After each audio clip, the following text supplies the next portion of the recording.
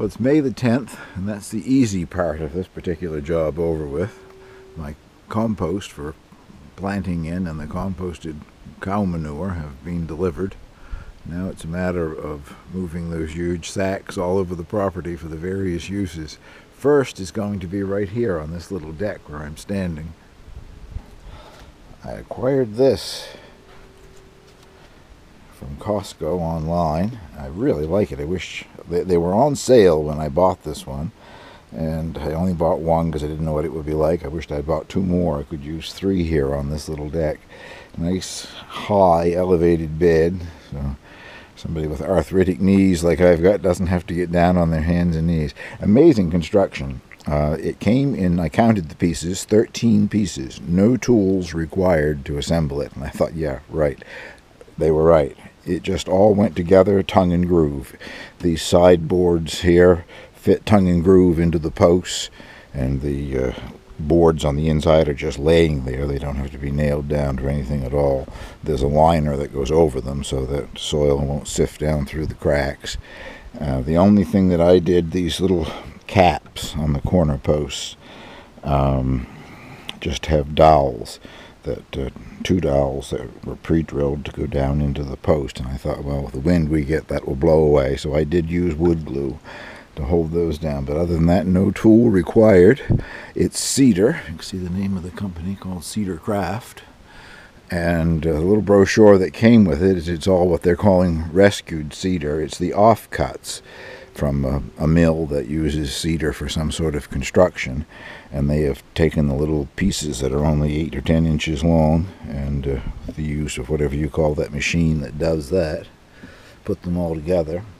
The corner posts are the same way. They're put together out of small pieces. So really a nice little unit. I'm looking forward to planting it. And that's what I'll be doing first, I guess, with some of my garden soil. But to give you some idea, I guess, of what I plan to grow in here, it's going to be mostly uh, salad items and a few herbs. Uh, I bought a six-pack of Italian flat leaf parsley, looking a bit straggly because I've been clipping off and using it. Besides, I just watered it a few minutes ago, I guess. But uh, I'm going to put a couple of them in here now. I'm not sure. They haven't been hardened off, so I'm only going to risk a couple of them. All I ever want in here is two. But I'll have four more to go by if I kill those. And this is curly chervil, uh, which I'm not putting out yet. It's kind of back in the house. I think our nights are still too cool for that. It's pretty delicate. And a tiny Tim tomato, a really tiny, tiny Tim tomato. They didn't really want to sell it to me at the garden center. Um, everything there is geared to for the big startup of our gardening season, 1st of June. So by the time the 1st of June came around, this in the garden center, in the, in the greenhouses and whatever, it would have been a decent sized plant, but that's all right. Uh, it's got coming out here for another two or three weeks either. And if you don't know what Tiny Tim is, it's a, by its name, you can tell it's small, I guess. It is a small cherry tomato, but also the plant is a very compact, sturdy little plant I haven't grown them in years, but I thought in a container like this, or a raised bed, where it might get some wind or whatever, that uh, it would be a good plant to, to grow. I'm not sure if it says on here how tall you can expect it to get. Uh, yeah, two feet, 24 inches, 61 centimeters tall, and that's pretty much optimum. I doubt if it ever gets that tall, but it gives you an idea of what the ideal one would look like there, I guess, but that will be going in the center here eventually. Right now I'm going to put in a couple of these uh, Italian flat leaf parsleys.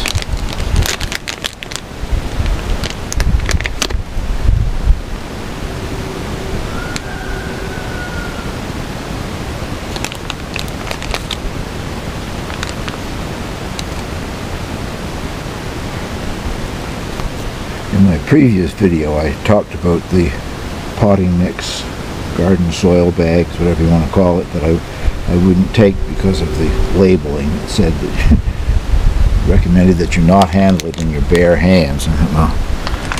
I'm growing vegetables in it. I don't want anything that I can't handle in my bare hands. This is not organic either, and I knew that when I bought it. Um, it has, I can I can't see any right here on the surface, but it has a small amount of slow release fertilizer. One bag is 21 kilograms. I used a bag in here, and I used a bag of the composted cow manure that's 15 kilograms. So they're they're both in this in this planter. It should be a pretty rich mixture, I think. And these are just a very standard cheap seeds radishes one row of radish, I guess.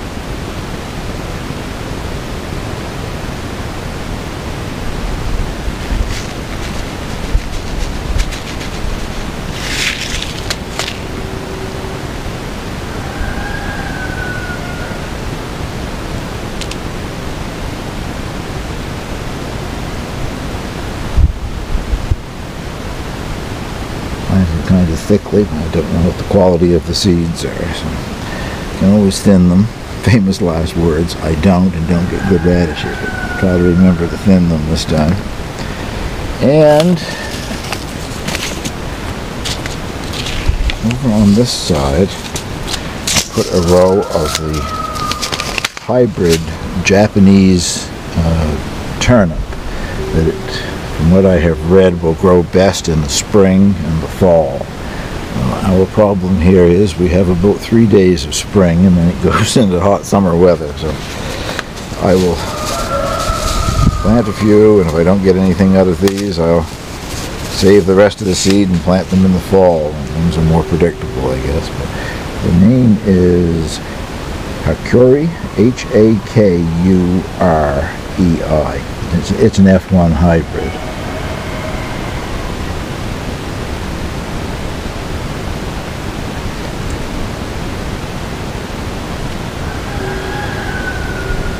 Roosters are sending forth very well down back. A little while ago they made so much noise I couldn't record because you never would have been able to hear me. I just let the coop with the roosters in it, just let them outside, so I guess that's probably the reason. And I don't know if it's too hot here or not to try to grow a couple of uh, lettuce, but I'm going to put in at least two of the Salanova lettuce. I have two varieties, so I'll put in one up here in this location.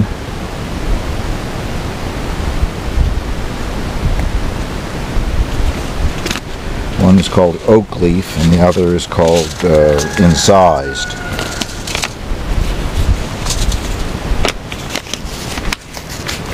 The oak leaf grew grew very well under lights and the incised didn't do so well. So hoping they'll do better outside, I guess.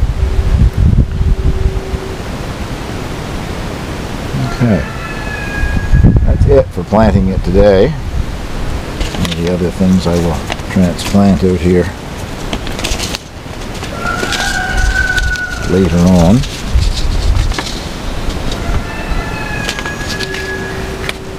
Next, dropped a whole batch of radish seeds here and a clump of radish coming up. Just water that in with my blue bandaged Haws watering can. I have a whole collection of derelict watering cans.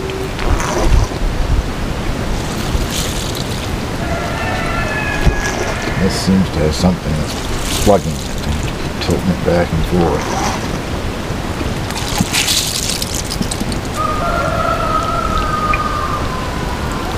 Well, see what happens here in a few days' time, I guess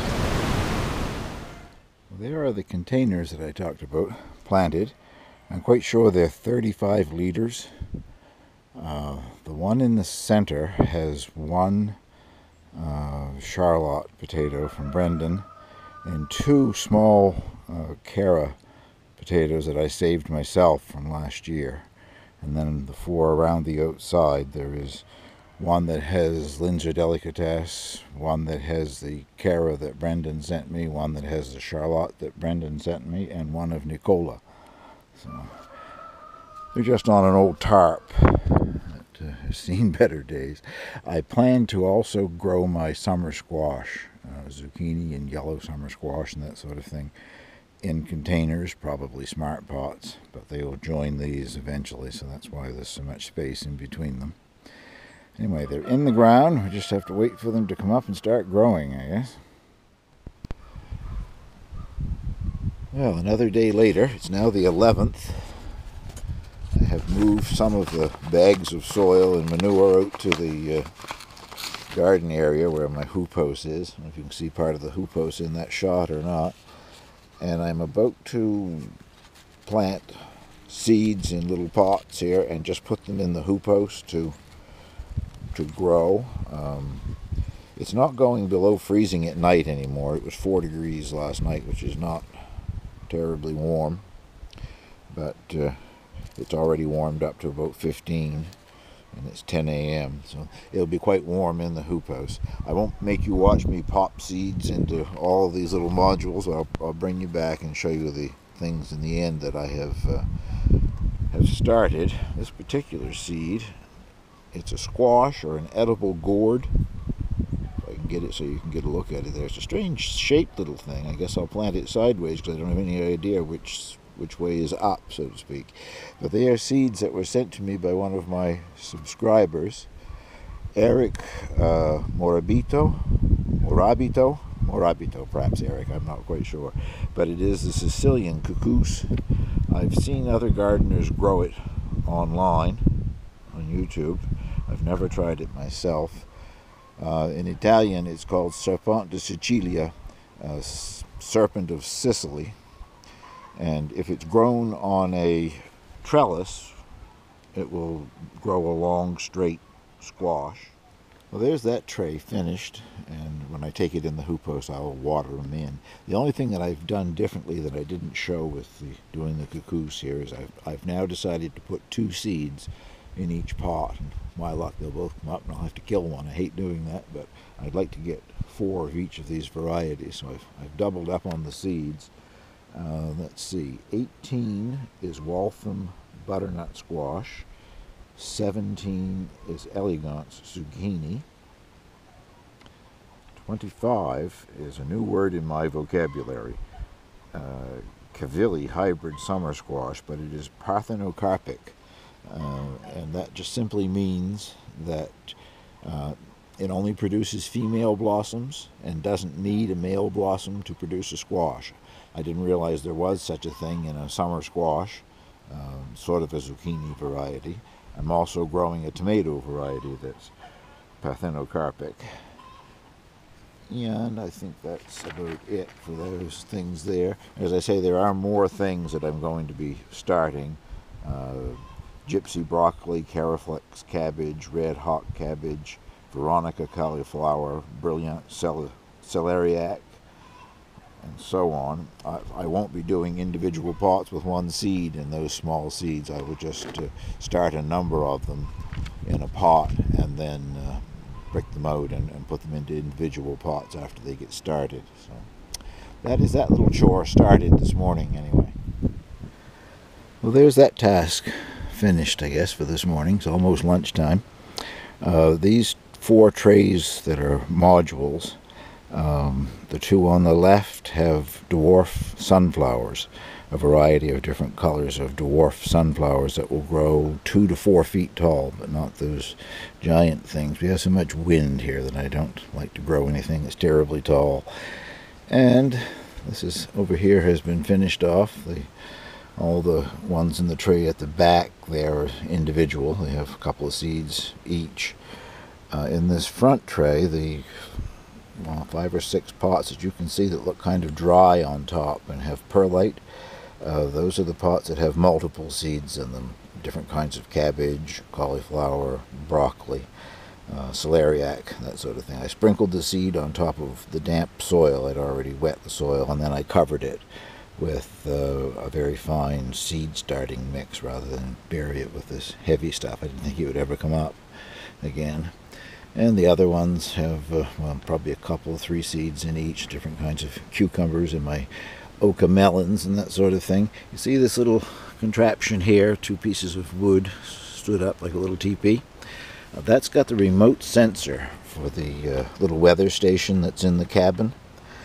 And the that weather station will give me a minimum and maximum temperature for every day. So I will be able to monitor how cool it gets in here at night and how hot it gets in the daytime. Well, I think the heat in the daytime is still relative. Uh, I'm not sure that uh, you know the pieces of wood probably heat up in the sun, and it's actually hotter than the air temperature in here. But we'll go up to the cabin now and have a look at what it is saying right now, anyway.